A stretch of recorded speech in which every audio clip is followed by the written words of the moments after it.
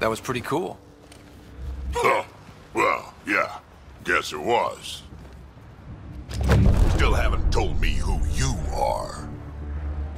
I'm the Pathfinder. Are you now? My name's Scott Ryder.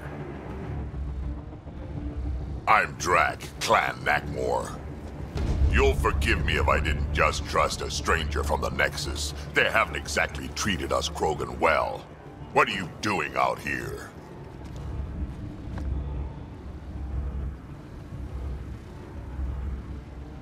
Checking out these monoliths? The Kett seem pretty interested in this one. Looks like you cleared it out first, though.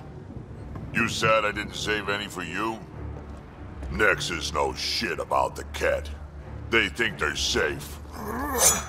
but they're just waiting to die out there in space.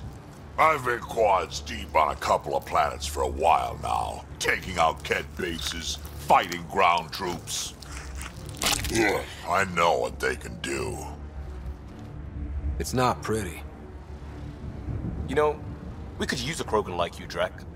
I'm flattered, but do you have any idea how many humans I've watched die? The day I help the Nexus again is the day the clouds part and the Kett keel over. No offense.